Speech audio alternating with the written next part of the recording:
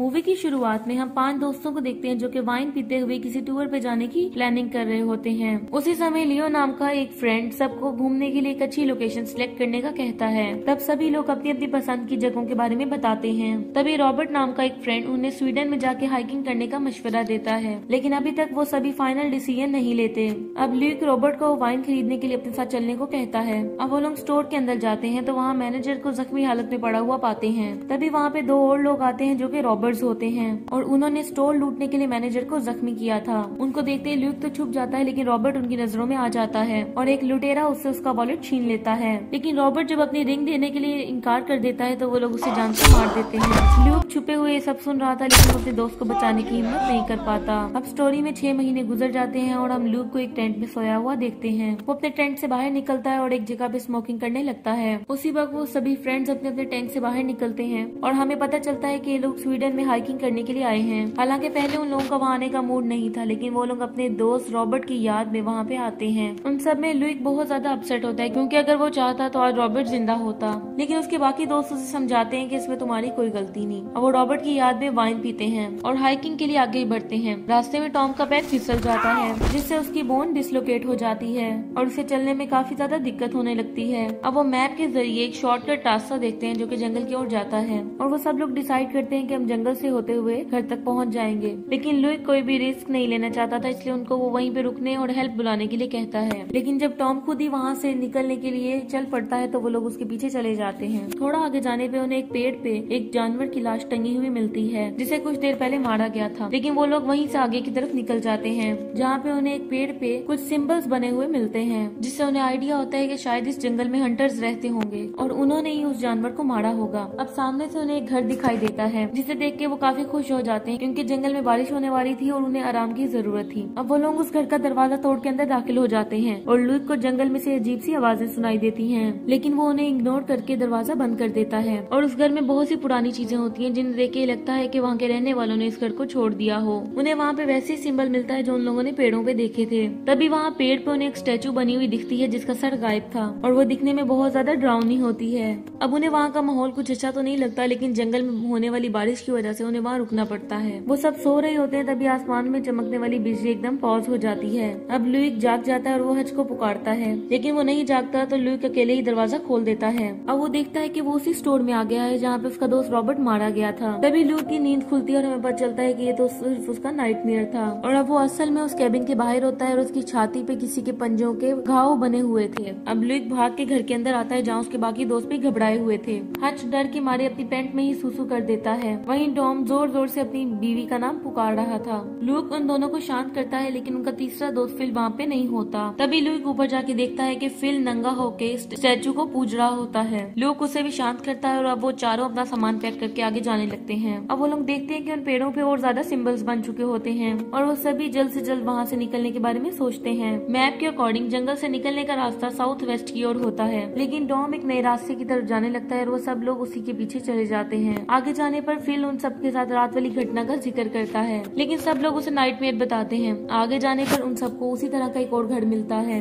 लेकिन इस बार वो उसे इग्नोर करके आगे निकल जाते हैं। अब उन्हें जंगल में चलते हुए काफ़ी देर हो जाती है और इसी तरह डॉम का पैर थकने लगता है। और वो वहीं बैठ के सबको रुकने का कहता है, लेकिन हज कहता है कि हमें जल्द से जल्द यहाँ से निकलना होगा। लेकिन अभी तक उन्हें बाहर निकलने का कोई भी रास्ता नहीं मिलता। लेकिन लुइक रास्ते की तलाश में हाइट पे चढ़कर चारों ओर अपनी नज़र दुराता है। तभी उसे कुछ दूरी पर अजीब सी चीज़ हलचल करते हुए दिखाई देती है। अब वो बहुत डर जाता है और भागते हुए अपने दोस्तों के पास जाके इस चीज़ के बारे में बताता है। लेकिन कोई भी उसकी बात का यकीन नहीं करता। अब ल्यूक अपनी बात का यकीन दिलाने के लिए अपनी छाती पे बना घाव सबको दिखाता है, जिस पर डॉम कहता है कि शायद चलते चलते तुम किसी पेड़ से टकरा गए हो, और हो सकता है उसी की वजह से घाव बन गए हो। लेकिन डॉम अब बहुत ज़्यादा गुस्सा होने लगता है, और वो गुस्से में आके लूक को भला बुरा कहने लगता है, जिसकी वजह से उन दोनों में झगड़ा होता है और लूक अपना सामान लेके वहाँ से जाने लगता है। इसलिए वो सभी पीछे पीछे उसके निकल जाते हैं। आगे जाने पर उन्हें ज़मीन में कुछ गड़ी हुई चीज़ दिखाई देती है और जब वो उसे बाहर निकालते हैं तो वो किसी कंपेन का टेंट होता है। तभी वहाँ उन्हें एक बैग मिलता है, जिसमें एक फैमिली फ़ोटो के साथ साथ क्रेडिट कार्ड भी होता है, जिसकी एक्सपायरी डेट 1984 होती है। इसलिए वो सब समझ जाते हैं कि फैमिली 1994 में यहाँ पे आई थी, और वो सब लोग एक साथ मारे गए थे। अब उन्हें लगता है कि कुछ हो ना हो, इस जंगल में कोई गड़बड़ ज़रूर है। इसलिए हच उन सबको जल्द से जल्द वहाँ से निकलने का कहता है। लेकिन अब रात बहुत हो जाती है, और वो सब लोग वहीं पे अपना टेंट लगाकर सो जाते हैं। लेकिन रात में लुई को फिर से रॉबर्ट के मरने का नाइट आता है।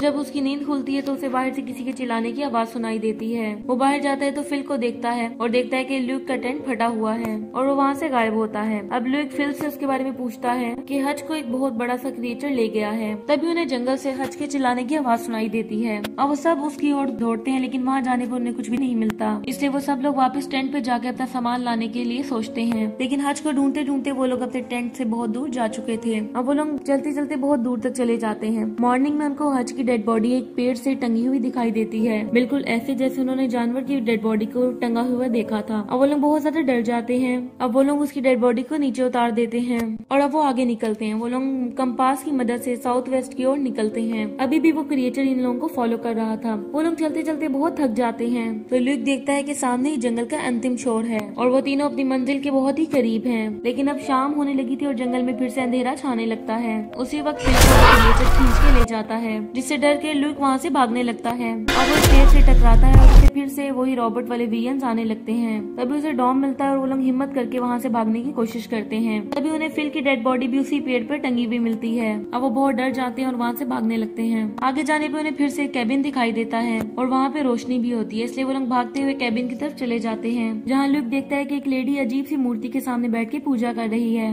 लेकिन उसी वक्त एक आदमी वहाँ आके उन्हें बेहोश कर देता है। लेकिन जब उन्हें होश आता है तो वो खुद को एक कमरे में बंधा हुआ पाते हैं। जहाँ लुक छुप के देखता है कि कुछ लोग एक लकड़ी से हॉल बना रहे हैं। तभी रूम में तीन लोग आते हैं, जिनमें से वो लेडी लुक को आगे बढ़ के पानी पिलाती है और उसकी छाती पे बने घाव को देख के अपनी छाती पे बने घाव भी उसे दिखाती है। उसके बाद वो डॉम के पास जाती है, लेकिन उसे कोई भी घाव नहीं मिलता। इसलिए वो डॉम को बाहर ले जाते हैं और बहुत पीटते हैं। अब वो लोग फिर से उसे रूम में लाके बाँध देते हैं। अब लुक डॉम से उन लोगों के बारे में पूछता है। अब वो बताता है की इस रिचुअल के लिए वो लोग मेरी बलि देने वाले है, क्यूँकी मैंने सेम चीज़ ये नाइटमेयर में देखी थी। अब कुछ देर के बाद वो लोग डॉम को ले जाते हैं और उस लकड़ी के क्रॉस पे बाँध देते हैं और वो सब लोग अपनी भाषा में एक मंत्र पढ़ने लगते हैं, जिसे दिन का उजाला रात में बदल जाता है। उसके बाद डॉम को अपनी बीवी गैल अपने पास आती दिखाई देती है, लेकिन ये उसका भ्रम होता है, क्योंकि असल में वो बहुत बड़ा क्रिएचर होता है, जो डॉम को उठा के देता है और वहीं पे उसकी मौत हो जाती है। दूसरी तरफ़, लूक अपने आप को फ्री करने के लिए अपनी बोन को डिसलोकेट करता है। तभी वहाँ पे एक लेडी आती है और कहती है कि डॉम को हमने फॉरेस्ट गॉड के लिए अरेस्ट किया है और तुम्हारी बॉडी पे ये निशान होने की वजह से तुम हमारी कम्युनिटी का हिस्सा बन गए हो। और अब तुम्हें हमारे साथ रहना होगा। साथ में वो ये भी बताती है कि क्रिएचर बहुत समय से यहाँ रह रहा है। इससे सभी उसे जंगल का भगवान मानते हैं। और हमारी कम्युनिटी हर साल उसकी पूजा करती है। ये क्रिएचर यहाँ पे आने वाले ट्रेवलर्स को अपना शिकार बनाता है। और उनमें से एक को अपनी कम्युनिटी में शामिल करने का सोचता है। जैसे इस दफ़ा उसने तुम्हें चुना है, तुम्हारी छाती पे बनने वाला सिंबल इसी बात की निशानदेही करता है। और जो उस क्रिएचर को पूछता है, वो उसकी हर इच्छा पूरी करता है। और साथ के साथ उसे अमर भी बना देता है। बदले में उस कम्युनिटी के लोगों को उस क्रिएचर के लिए इंसान की भली देनी होती है। तो ल्यूक उससे पूछता है कि आखिर फॉरेस्ट गॉड ने मुझे ही क्यों चुना? तो वो बताती है कि दूसरों के मुकाबले में तुम में काफ़ी ज़्यादा दर्द है और अंदर ही अंदर तुम गिल्टी फील कर रहे हो। फॉरेस्ट गॉड ऐसे ही लोगों को चूज़ करता है। उसके बाद तुम्हें एक रिचुअल के बाद उन्हें पूजना होगा। और अगर तुम ऐसा नहीं करोगे तो बाकी लोगों की तरह वो तुम्हें भी मार देगा। अब वो लेडी वहाँ से चली जाती है। अब लूक हिम्मत करके रूम से बाहर जाता है और बाहर जाके देखता है कि सभी लोग उस क्रिएचर की पूजा कर रहे थे। और इसी चीज़ का मौका पाके लूक एक दूसरे रूम में जाता है, जहाँ पे बहुत ज़्यादा डेड बॉडीज पड़ी थी। लेकिन असल में वो डेड बॉडीज नहीं, बल्कि ज़िंदा इंसान थे जो कि अमर हो चुके थे, जिसकी वजह से उनकी हालत डेड बॉडी जैसी हो जाती है। अब लूक उन सबको आग लगा देता है और वहाँ से बाहर आ जाता है। अब वो ओल्ड लेडी उसे देख लेती है। लूक उसे पंच मार कर एक दूसरे रूम की तरफ़ चला जाता है, जहाँ पे उसे एक गन मिलती है और वो अपना रास्ता रोकने वाले आदमी को मार देता है। लेकिन तभी वो देखता है कि वो क्रिएचर उस यंग लेडी को मार देता है, क्योंकि उसने कम्युनिटी के रूल्स को ब्रेक करते हुए लूक को सब कुछ बता दिया था। लूक दूसरे गेट से बाहर जाता है और उस क्रिएचर पर गोली चलाता है उसे इस चीज़ का असर नहीं पड़ता। वो वहाँ से भागने लगता है। लेकिन भागते हुए उसे फिर से वही वीएम्स आने लगते हैं, जिसकी वजह से वो भाग नहीं पाता। अब वो क्रिएचर उसे पकड़ लेता है और उसे उठा के अपने हाथों से नीचे फेंक देता है। और बाद में उस पर अपने हाथ रख के कुछ रिचुअल करने लगता है। और उसी वक्त लूक पास में पड़ी हुई कुल्हाड़ी को पकड़ के उस पर अटैक करने लगता है। और मौका पाकर वहाँ से भागने लगता है। तुरंत ही जंगल का किनारा आ जाता है और वो जंगल से भागने में कामयाब हो जाता है। तब हमें पता चलता है कि वो क्रिएचर उस जंगल से बाहर नहीं आ सकता। अब वो अंदर से चिल्लाने लगता है जिसपे बाहर खड़ा लूक भी चिल्लाता है। बाद में आगे जाके लूक को एक गाड़ी चलती हुई दिखाई देती है। इसका मतलब था कि वो शहर के बहुत करीब पहुँच चुका था और इस तरह उसकी जान बच जाती है और ये मूवी यहीं पे एंड हो जाती है। Thank you so much for watching